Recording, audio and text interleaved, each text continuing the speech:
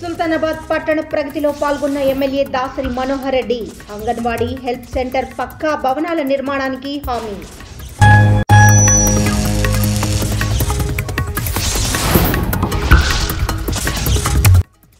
ఎలిగేడులో Maoist నేత ధీకొండ శంకరయ్య అలియా శేషన్న కుటుంబ సభ్యులను పరామర్శిన ఏసీపీ సారంగపాణి. లొంగిపోతే రివార్డ్తో పాటు పునరావాసం కల్పిస్తామన్న పోలీసులు.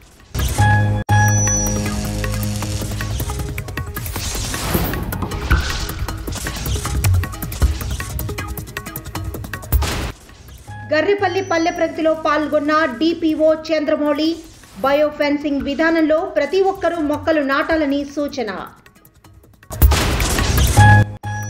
వారిది చిన్న వయసు కానీ పెద్ద మనసు. కరోనా పేషెంట్లకు పోషకాహారాన్ని అందజేస్తున్న చిన్నారులు.